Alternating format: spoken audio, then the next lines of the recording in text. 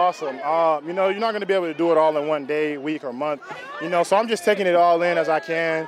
Um, and just being able to really just get out there and explore, you know, try the different venues that they have to offer here, and really just connect with the uh, community as a whole. First time in this stadium for you? you yeah, first time. First time. think about your new I love it. I love it. I can tell right now it's going to be packed as soon as we uh, start, as soon as we get started. What are you hearing? What are people yelling for you? Trench King, yeah. Yeah, yeah. What's it like? You, you, everywhere you played, expectations have always been through the roof, and now you got everybody in the NFL picking against you guys. How, how do you react to that? I mean, you know, it's fun. I mean, you get to you get a chance to, to be the underdog, and I mean, when we played Michigan, you know, everybody had Michigan blowing us out, and this, this, and that.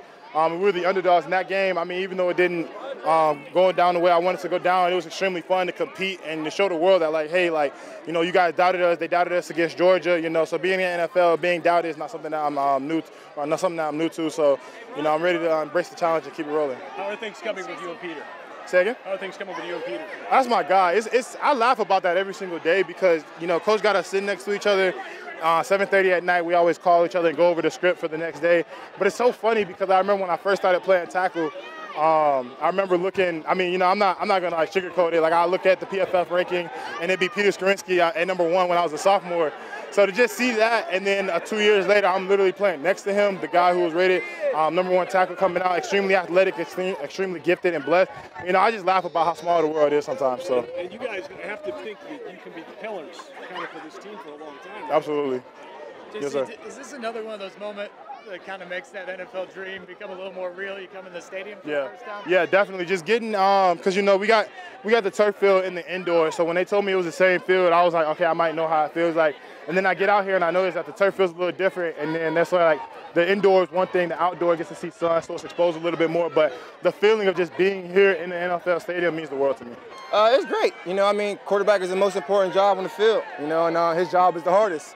That's why the QBs get the big bucks. His moment's not here yet, but he, he- he's a guy that will be there. You know, but first and foremost, just trying to understand the offense and just understanding how to throw passes to each different receiver that's new here, like myself, and just uh, the timing, timing on throws, and just just us being where we need to be. If we get all that uh, down pack and, and we are where we need to be, then I mean, the sky's the limit. You, uh, you've been here obviously several times. What's it like being here? Maybe some hype coming out here on the field, and how you feel like you're settling, settling in here? I'm not gonna lie, it, it feels a little awkward, you know, because I mean I've been a Bengal uh, my whole career, but in the past now. Now I'm a Titan, and just like I said, man, the, the atmosphere, you know, I'm still getting the love and the support that, that, that, that I deserve. You know, and I'm a heck of a player, and um, I'm just here and, and I'm ready to win. Did coming in here today make it feel a little bit more real that that transition has happened and you are a Titan now? Yes, it did, you know, because what I'm used to, you know, the fans was able to come to the first day one practice, you know, and us not having fans and uh, people come to the practice facility, it just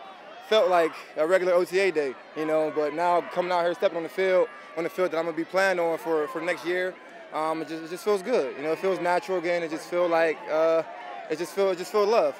A lot of back and forth between the two sides today. How do you evaluate the offensive performance, and does it also show you got a ways to go before the bullets really go for real? Yeah, absolutely. You know, I mean, around the whole perimeter, special teams, defense, offense, we all got to work on what we need to work on. You know, uh, we had a great day. Offense, offense made great plays, defense made their plays, and uh, we still got to work.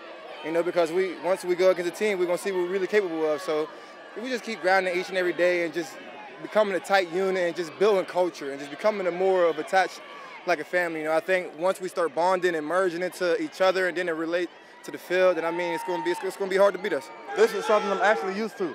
Like coming out of practice, having fans here, just giving us a lot of energy.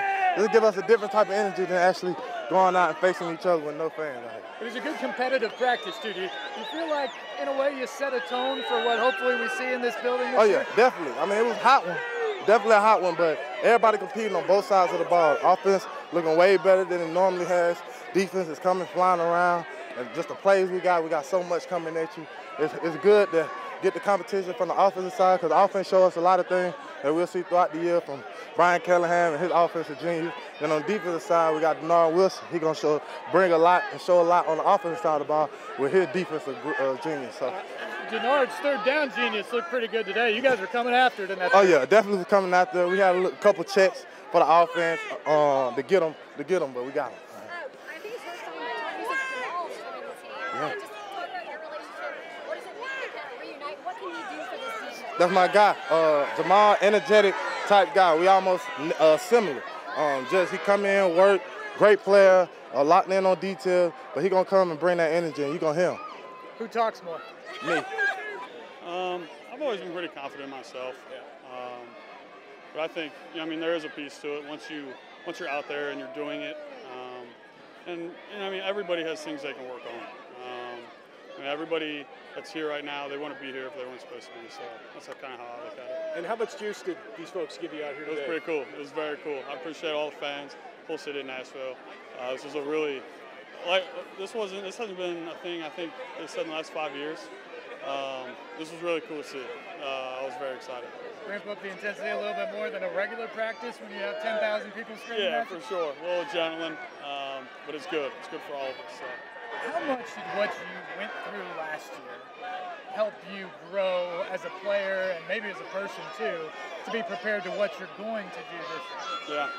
I, my biggest thing last year uh, was injuries and staying healthy. Um, obviously, I missed like what five or six games. That's that's been one of my biggest focuses going into this year. Um, keeping my body healthy um, and making sure I'm always ready for the next practice, next game. So. We always talk about this offense and what it can do for skill position players. As a tight end, do you see a special opportunity in here for a guy like you who can catch the ball? Uh, yeah, um, but there's guys that can contribute all over the field, um, and I just I just want to be at the right place, the right time, um, and hopefully we'll find him. So.